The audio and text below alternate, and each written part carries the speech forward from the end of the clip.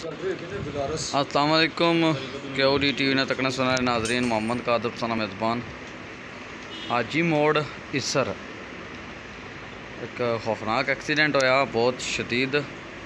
खानाबाद ने एरिए कोई पार्टी सी और वजह मालूम नहीं हो सकी कि किस तरह एक्सीडेंट होया, लेकिन डायरैक्ट सामने गए। पलाइया ने बूटे उन्होंने जी टकराई है और उतो थले बरतन गई है।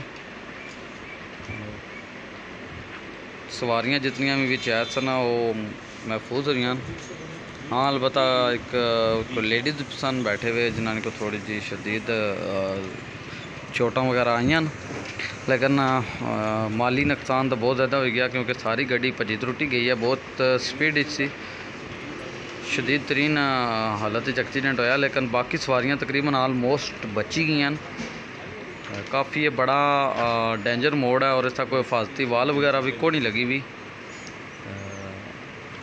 आवाम इलाका, जितने भी लोग तकड़े न और ख़ास करी महकमा शहरात आमा इत मोड़ा पर कोई अपनी हिफाजती वाल वगैरह बनानी चाहिए उन्होंने और रोड मिरर को नहीं लगे हुए जिन्होंने वजह तो आए रोज़ इस मोड़ा पर एक्सीडेंट होने न। इत्थे ट्रैफ़िक ने सार्जेंट और पुलिस ने नफरी भी आई चुकी है जाए वकूआ पर। गड्डी इत्थे पे ही है ताकि नज़र आई रही उसी